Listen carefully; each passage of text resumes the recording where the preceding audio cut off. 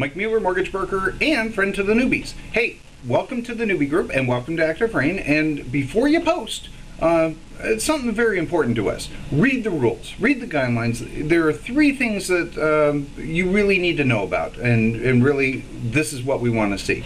Uh, one, if you're new to ActiveRain, not new to real estate, but new to ActiveRain, introduce yourself. Put up a post in the newbie group, we'll all say hi. Uh, two, if you have a question on how to use ActiveRain, how do I embed a video? How do I put in color? How do I upload an image?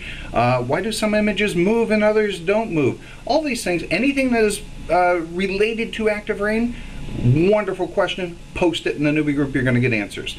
Uh, third, uh, if you're writing a blog post, and we'd love to see it on how to use ActiveRain effectively. And I'm not talking about how to market your listings, I'm talking about how to embed a video, how to put in color, how to upload an image.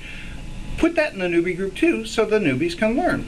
Um, that's it. Welcome to the newbie group and uh, welcome to ActiveRain.